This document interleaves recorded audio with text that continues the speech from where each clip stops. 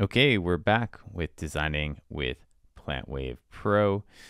Uh, in our previous video, we learned about how PlantWave works, how the data comes through, and uh, different fundamental principles behind our design approach in PlantWave. And now what we're going to get to do is we're going to dive into the app.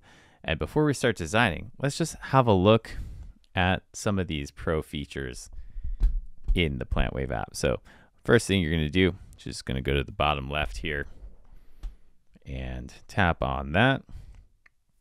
And you're going to see we have uh, all these different things. We have the frequency that you can choose. That's the base frequency of uh, of the sound engine. So you have 432, 440, 528. You also have your root note and your uh, your scale. So the the way that the data is scaled, we tend to use pentatonic major and pentatonic minor. Now, chromatic will make everything very uh, it's it's literal. It's not scaled at all, uh, and that can be a little bit more uh, uh a, bit, a little bit less pleasing to listen to. Uh, but and then we have major, um, natural minor. We have all these different scales, but we tend to do everything in pentatonic major and pentatonic minor. Next, you have master effects. Uh, so here you have your volume, you have tempo of the sound engine. So that is going to determine uh, how quickly notes are allowed to be triggered. And then we can further get into that with different subdivisions and things. And then we have reverb uh, and different effects. And this reverb section is quite complex. If you're not a sound designer, I recommend not really diving too much into that. Um, maybe just starting with a sound set that you already like and, and playing around with that. Uh, next, we have four different instruments. Uh, so PlantWave can play up to four instruments all at once. And so in Celestial Being, it's playing bass, electric piano, flute, and then this kind of like pixie dust sound. So uh, you can see this is the bass. And what we're going to do, the, each instrument has so much customization. It goes super deep. Like this is just one instrument.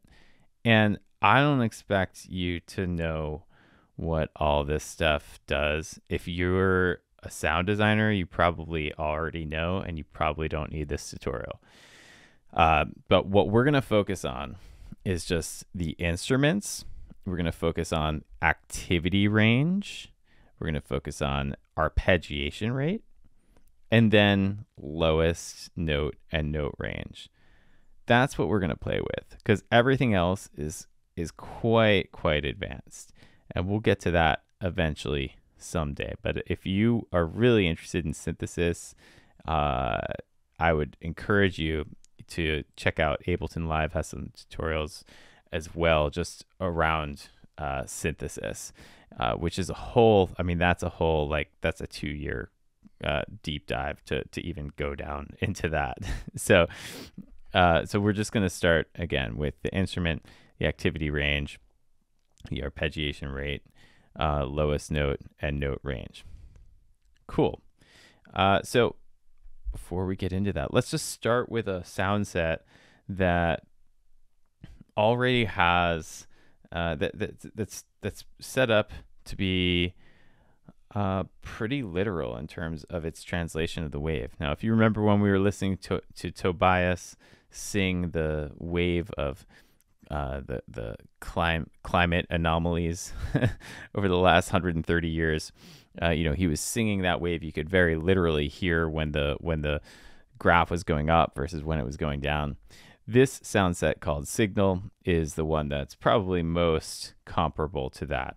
And so it really just has one instrument, it's a sine wave here. Um, and it just follows the it just follows the wave. So let's listen to that. I'm just gonna go over here, plug in my plant wave.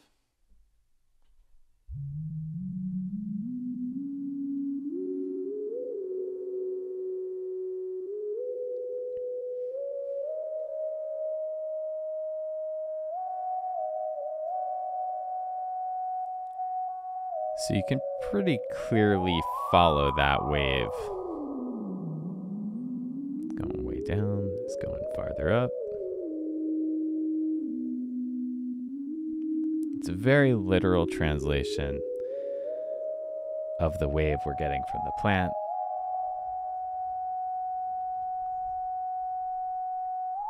And there was not producing anything more, it was just kind of holding on a note for a minute a moment.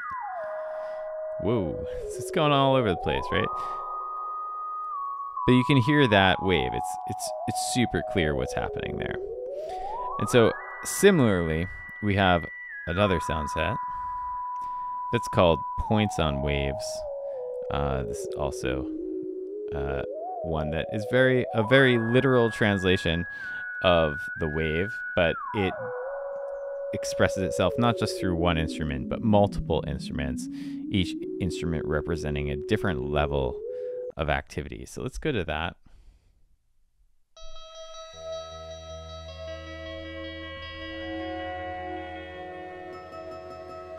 So in this sound set, this kind of uh, Japanese flute is always playing. It's always playing, but then we have these other. I'm, and I'm gonna turn off. Th- this reacts activity range. This is activating this instrument when the plant is particularly active. So if you go to the right, this is when it's really active, and then to the left, it's when it's uh, quite inactive. So we can choose whether or not the instruments are on or off based on the activity level. So I'm just turning that one off all, all the way. Now we have the harp, which plays at lower activity levels.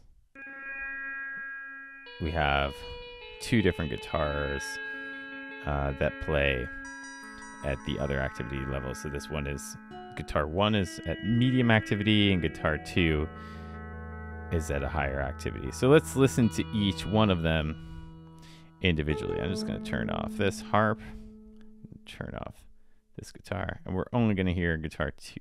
This is the one called.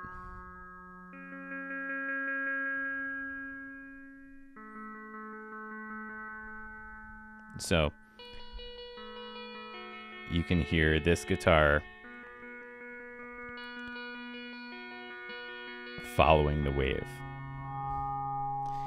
And now, if we want to, we can increase the range of notes that this guitar is allowed to play. So right now, it's allowed to play uh, basically two octaves, like up to 36 notes. What if we up that all the way to like 64?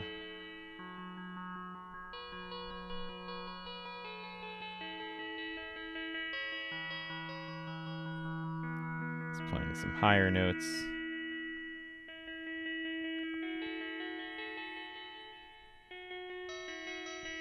Another thing we're going to do is we're going to enable monophonic. That means it can only play one note at a time. It, it notes won't overlap. There's a very slight difference in that sound.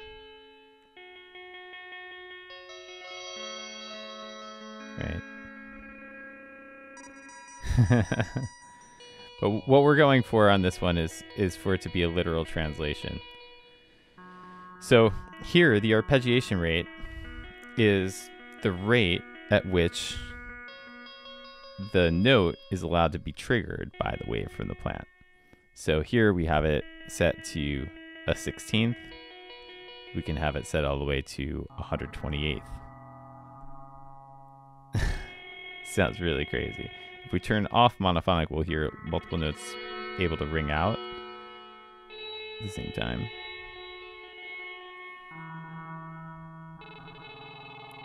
if you play, if you put it on monophonic, then it's only allowed to, like each new note turns off the last note. So that's what that does. What's cool about this is that now we have this instrument that is it has this big note range and now we've set the timing to an eighth note and it's an eighth note at what like uh, 76 beats per minute. So this is now set up to allow us to follow the wave. So you can hear that and follow the wave. You get a sense of it, whether the notes are going up or down.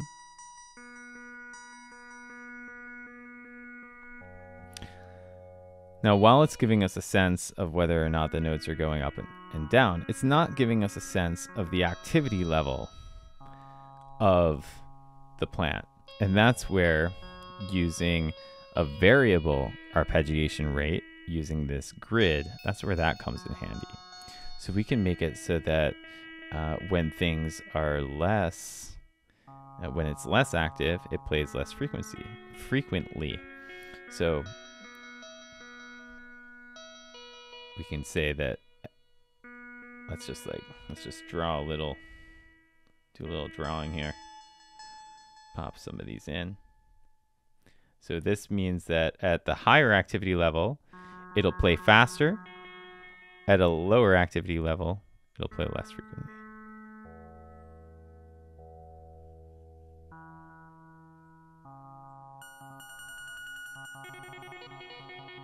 right so you can very much tell the activity level of the plant in addition to following that wave as the melody. So let's check this out. What happens if I touch it?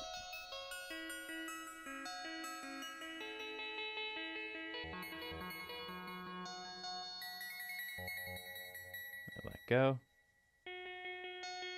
Got silent there for a moment. Now, we don't have to have this B guitar. We can also have this, instead, we can have this B harp, right?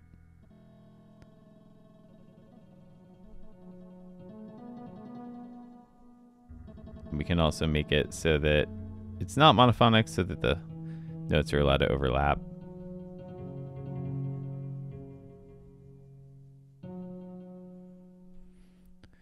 We could use a different instrument, like something like electric piano.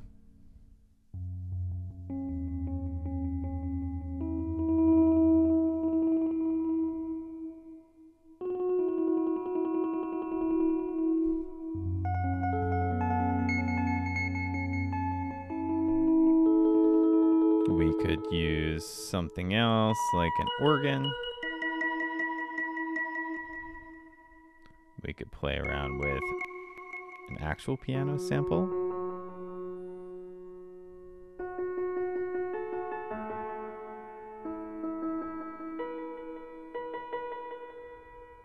Right? So this is a way of representing the data in a more literal way where the faster the notes are, the more uh, activity level there is in the plant. Now, we can also uh, express activity levels in the plant by playing around with having different instruments activated at different activity levels. So we'll just start this one off saying uh, uh, we can give this a single arpeggiation rate for that. So we can just start this off 16th note. That's what that's what this piano is allowed to play. And the lowest note is a C, and it's allowed to do 64 note range. Okay, cool. So we have that. Let's give this one kind of this, the same. Uh, lowest note's going to be a C. And it has, let's give it 64 note range. Okay, great. Uh, now we can get have both these play at the same time. This guitar and the piano.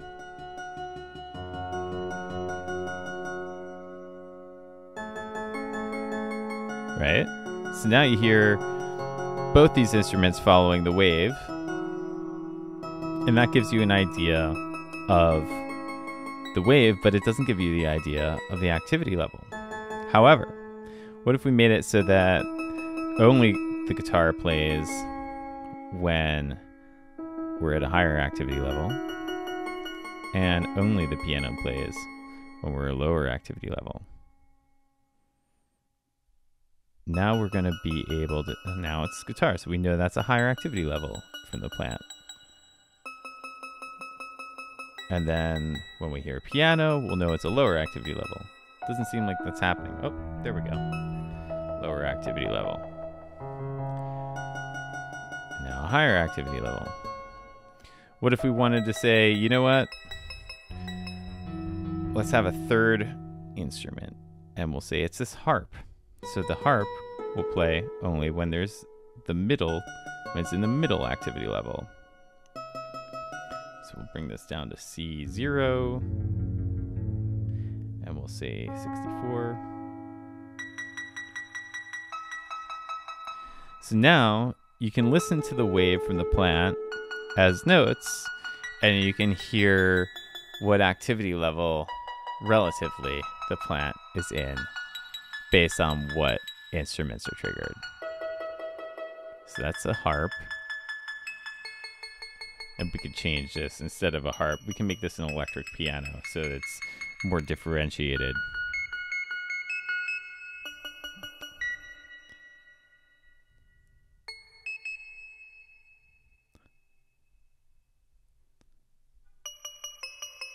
That's, that's the guitar. Oh, let's make that a harp instead. This might be nicer. It's the harp. Now that's the electric piano. Let's see if we can get the regular piano coming back into the mix. Oh, oh it's, the electric piano still.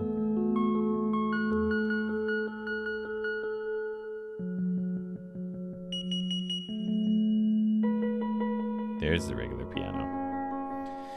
And so we what we've done is we've just built a monitoring system for our plant. So now when we hear this, we kind of know we can follow this wave and we have a general idea of how active the plant is, how much shift there is happening in the plant. And so we can also change what frequency it's in. And if you're curious of what it sounds like unscaled, uh, this is chromatic, so this would be this would be unscaled, and this is violating our value of harmony uh, uh, thing we were discussing earlier. But this is an unscaled version of the data, not as fun to listen to. So that's why, again, we put things into a pentatonic key. So I hope that helps you understand how to make a uh, just a quick little sound set that is based on trying to monitor the data from your plant. Uh, again, this while it's it is nice to listen to, this isn't as nice maybe as we could get it to sound. We could play with it a lot more. Uh, and in fact, uh, in our next episode, we're going to focus on designing for musicality. But before that, let's save this. Uh, I'm just going to say duplicate and uh, we're going to say, we're going to call this literal translation for monitoring. That's a that's a long one. Let's just call it monitoring. All right, great. Saved. Excellent. So now that's a part of my sound sets that I have. And uh, yeah, you can you can make as many of these as you want.